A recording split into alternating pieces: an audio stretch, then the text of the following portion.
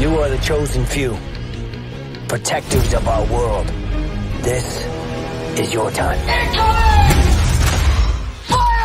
Und hallo Leute, herzlich willkommen zu einem neuen Live-Gameplay. Und ja, wir sind jetzt hier am Start in Ghost Recon Breakpoint und wir spielen das neue Update, was am Mittwoch jetzt rauskommt ist die Woche. Und ja, wie ihr seht, wir sind hier schon am Start mit unseren Bot-Mitspielern. Und zwar, ja, das Update war auf jeden Fall richtig heavy, muss ich sagen. Und es ist halt echt was Geiles reingekommen. Und zwar jetzt halt für den Singleplayer kann man jetzt halt auch Bots hinzufügen. Das heißt, man kann sie, ich zeig's mal ganz kurz, man kann sie im Menü, ähm, also man kann sie im Menü aktivieren und ja, somit dann eine Gruppe bilden. Und ja, ich muss sagen, es ist recht geil und ich bin echt richtig fasziniert davon, weil es einfach wirklich eine komplett neue Dynamik ist. Es spielt sich mega cool und es ist auch einfach ein geileres Erlebnis, als es immer solo zu spielen oder halt ein bisschen im Team zu spielen. Also ich muss sagen, echt ein fettes Däumchen hoch für die Aktion von äh, Ubisoft. Also echt, muss ich sagen, echt krankes Ding haben sie da rausgehauen diesen Monat. Und ja, ich habe schon gestern ein bisschen angespielt, mich ein bisschen reingespielt, wie das ist so, wie es sich halt äh, ja auch anfühlt, ein bisschen mit dem Team zu spielen. Und ich muss sagen, echt gut programmiert, echt gut.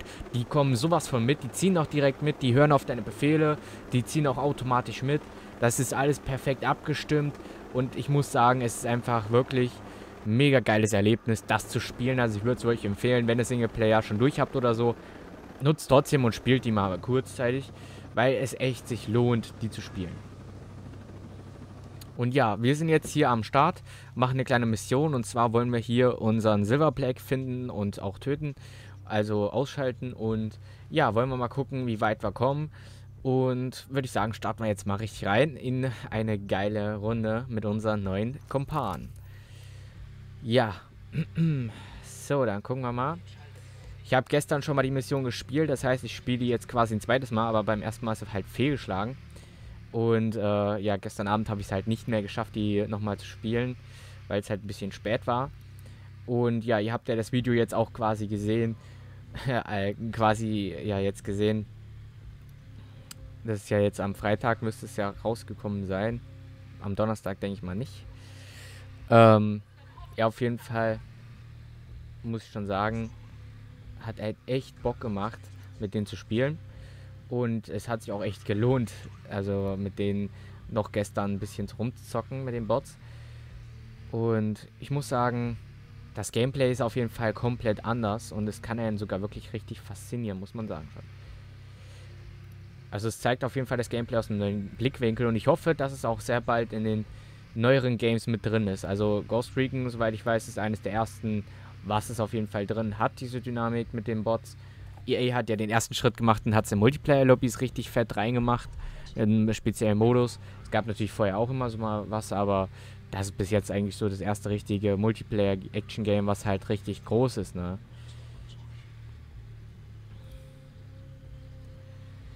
Ja. Also ist ja auch ein Live-Gameplay, deswegen nicht wundern, warum ich Commentary jetzt die ganze Zeit gebe. Man könnte jetzt meinen, ich mache die ganze Gameplay, aber nee, ich mache diesmal Commentary anstatt Livestream, weil als Begründung, weil der Livestream, die Grafik ist halt immer, ja, die ist immer halt ziemlich schlecht und deswegen habe ich mich jetzt dazu entschieden, ähm, hier das jetzt rauszulassen mit dem Livestream bei dem Punkt, weil ich denke mal, ihr wollt es auch genießen in voller Grafik und so. Deswegen habe ich mich dazu entschieden, das so zu machen jetzt, dass wir hier im Prinzip äh, ohne Livestream das machen mit guter Grafik und so. Ein schönes, kompaktes Video, das kann man sich doch eher geben. So, jetzt fehlt uns hier noch einer. Und zwar... Hoffen wir, dass wir nicht entdeckt werden. Ja, ich konnte ihn nicht jetzt sehen. Ja, scheint mir... Scheint mir nicht hier drin zu sein. Wartet mal, den Funker hatten wir schon gespottet. Gut, den Funker müssen wir nämlich ausschalten. Der Rest ist uns scheißegal, auf gut Deutsch gesagt. Weil äh, der Funker ruft Verstärkung und das wollen wir ja nicht. wir wollen ja ganz schnell alle platt machen. Bis auf unsere zwei Informanten, die dürfen wir nicht wegmachen, die mit dem I hier über dem Kopf. Unsere zwei Informanten, die dürfen wir nicht wegmachen. Äh, vier Informanten sind es ja moin. So, einer fehlt mir hier noch. Hier vorne müsste noch einer sein und da hinten ist noch einer. Hm. Hier soll noch einer sein.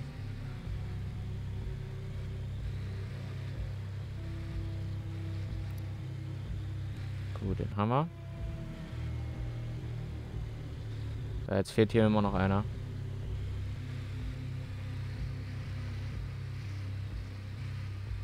Naja, ich würde sagen, das für erst egal.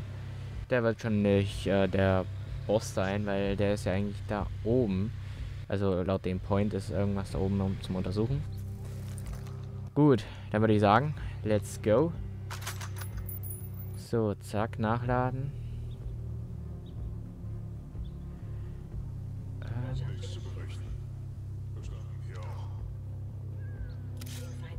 Welcher von denen könnte das sehen? Ja, moin. Bisschen verbuggt gerade. Ähm. Er hat. Nur zur, äh, zur Erklärung. Ich habe jetzt gerade zwar. Ich habe meinem Scharfschützen jetzt den Befehl gegeben, er soll den da ausschalten. Also wegsnipen. Nur ich gucke jetzt. Äh, aber er sniped erst dann, wenn ich schieße. Den Schuss abgebe. Also das ist echt gut abgepasst. Und, ähm. Die anderen werden auch erst schießen, wenn ich schieße. Noch so viel zur Erklärung dazu. Ihr seht das, mein Scharfschütze, der zielt direkt auf ihn. Ich finde es halt mega geil, weil die Schusstrefferquote ist halt sowas von 100%, ey. Das ist halt mega Bock. Ähm, ja, wie gesagt. Der schießt dann erst, wenn ich schieße, aber ich muss jetzt gucken, dass da kein weiterer Gegner in der Nähe ist. Ich gucke nochmal kurz, dass halt echt kein weiterer Gegner in der Nähe ist der ihn im Prinzip sehen kann. Aber leider ist da hinten... Ja, jetzt könnte man ausschalten. Obwohl, der da ist auch noch ein Problem.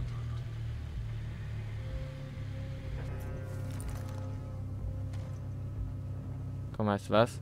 Wir schalten den Typen da aus.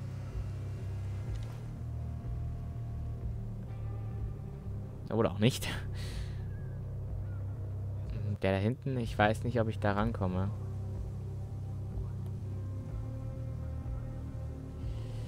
Ja, so müsste es gehen. Die Abschätzung, ja, gut so. Komm. Und er bewegt sich in dem Moment, wo ich fast ausgerichtet hatte. Aber das ist gut. Sag ich doch. Siehst du, das meine ich. Ich habe geschossen, er hat geschossen. Also, das ist halt echt gut abgepasst. Gut.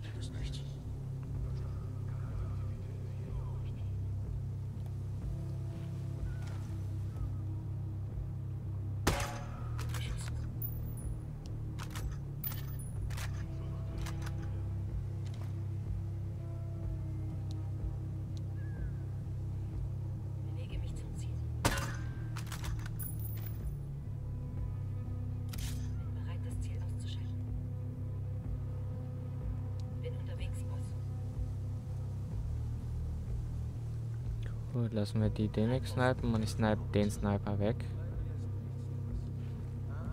Oh, oh, oh, oh, oh, oh, oh, wir wollen noch nicht so weit hoch.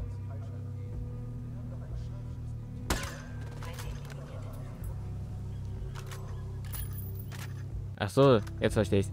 Ah, der Sniper ist nicht, äh, ja, ja, ja, er ist der Sniper. Warte mal, welche Position spielt er? Wave C. Der sollte 3 sein. Der sollte die 3 sein. Ähm, gut, ich will jetzt erst einmal den da oben, den kann sie nicht töten. Äh, jetzt wird es problematisch, ne? Weil jetzt sind keine Gegner mehr da. Ja, doch, da könnte man snappen. Äh, nein.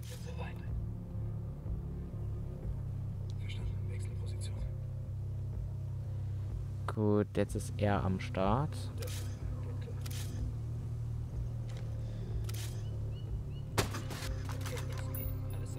Perfekt ausgeschaltet. Das meine ich halt. Perfekt abgepasst.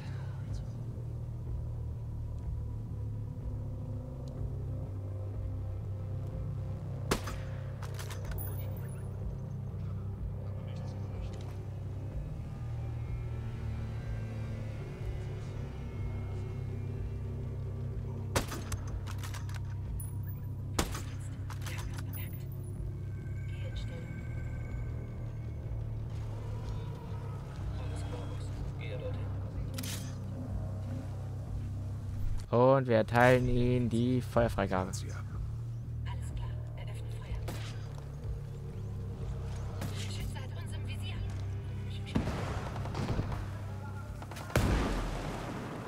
Oh, Mate getroffen. Oh mein Gott, Rückzug. So, wir dürfen jetzt aber nur die nicht da unten ausschalten, unsere Informanten. Das wäre echt nachteilig.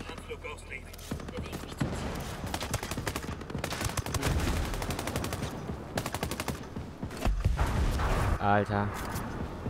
Läuft die Ball richtig los, wieder mal. Hi, Digga.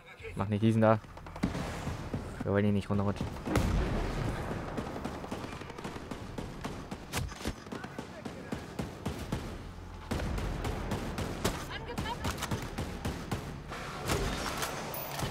Nein. Oh. Glück gehabt.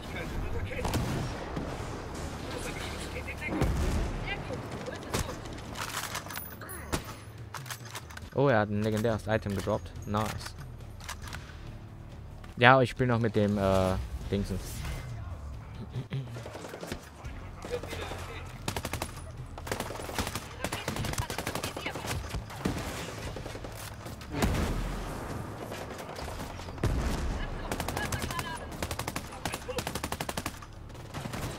So. Würde ich sagen, schnappen wir uns erstmal unseren ersten Informanten.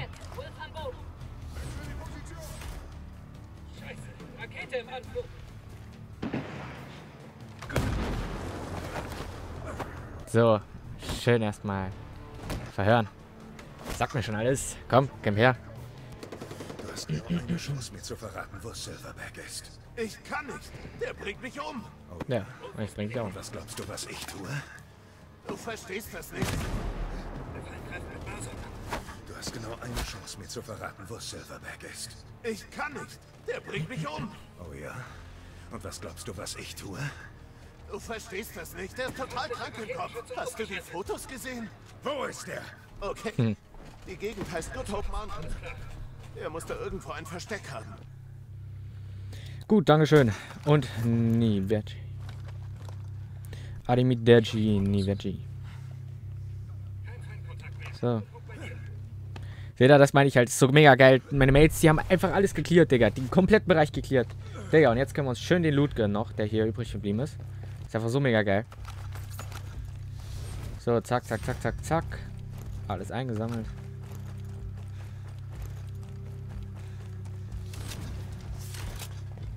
Das Ding ist, ne? Real Talk gestern, woran die Mission gescheitert ist, ist halt. Habe ich schon erwähnt oder nicht? Ich habe auf jeden Fall die Informanten getötet, deswegen hat das gestern nicht funktioniert. Äh, ja, weil meine Waffe ein bisschen zu OP war und auf ihren Kopf sehr, sehr gerichtet war. Ja, das war ein kleines Problemchen. Das war auf jeden Fall ein kleines Problemchen. Aber naja. Gut, jetzt haben wir auf jeden Fall schon mal einen Plan, wo der Typ ist. Würde ich sagen, holen wir den auch uns gleich ab. Vorher looten wir aber noch das Fahrzeug hier vorne. Weil das bringt gut Loot.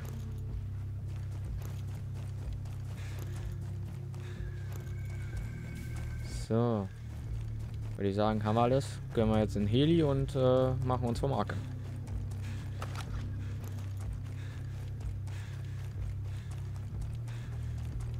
So, warte mal. War hier nicht noch einer drin? Genau, habe ich doch richtig in Erinnerung gehabt. Hier war gestern noch jemand drin. Ja, und das Event Volksaufstand, das läuft ja auch noch bis nächste Woche Mittwoch. Nächste, übernächste Woche Mittwoch, sorry. Äh, das würde ich sagen, können wir auch, wenn es euch gefallen hat, das Gameplay jetzt, dann können wir auf jeden Fall das auch mal zocken mit unserem Team. Ups, wir sind eigentlich zu weit vorn. Äh, können wir das auf jeden Fall auch zocken. Äh, ich werde sowieso zocken, aber ja, wir können es ja dann auch gemeinsam so im äh, Live-Gameplay oder so spielen. Je nachdem, was euch lieber ist. So, kommt Jungs und Mädel. Wir wollen los.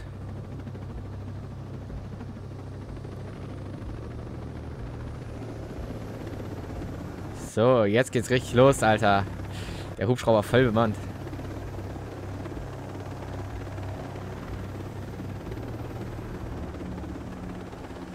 So, das sind jetzt 5 Kilometer fahren. Flug hier.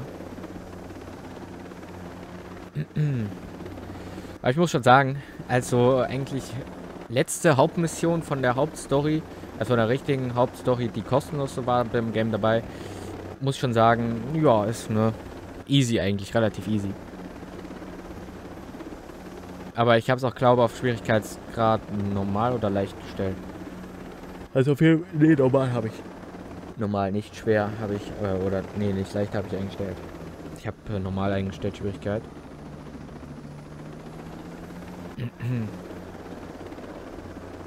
so.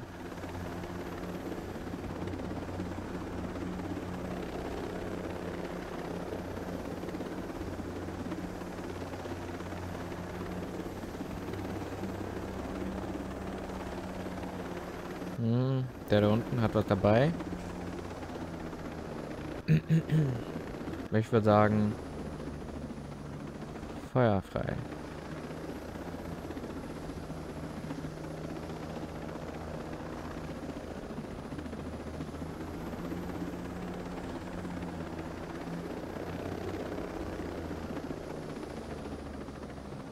Na los, du darfst schießen. Mann.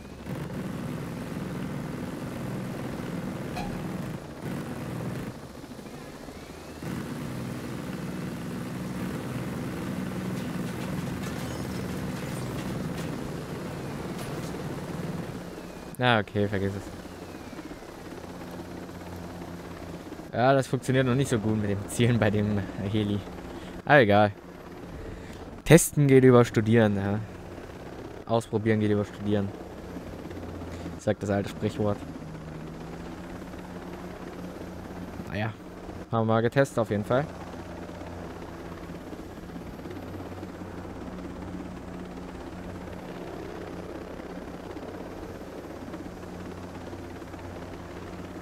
So, zwei Kilometer noch. Dann haben wir es geschafft. So Leute, nach einem kurzen Cut sind wir wieder am Start. Ich wollte euch das jetzt nicht noch die zwei Kilometer antun. Deswegen habe ich mir gedacht, machen wir jetzt nach den zwei Kilometern. Huhuhuhu. Digga.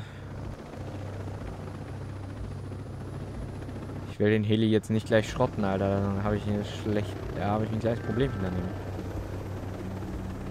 Ich weiß nicht, wo ich halten soll, Digga. Das Gegner. Kleines Problemchen. Ich würde sagen, parken wir den hier oben in dieser kleinen Kuhle.